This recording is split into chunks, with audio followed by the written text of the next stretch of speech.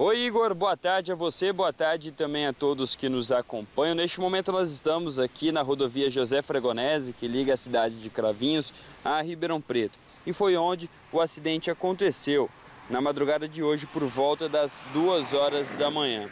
Policiais militares é, estavam aqui pela rodovia quando visualizaram o motociclista Sandro Luiz Ramos, de 50 anos, caído nessa canaleta de água.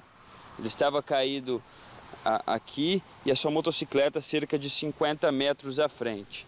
A, policiais militares acionaram a Polícia Civil, que também acionou a Polícia Científica, a perícia, para tentar descobrir o que teria acontecido.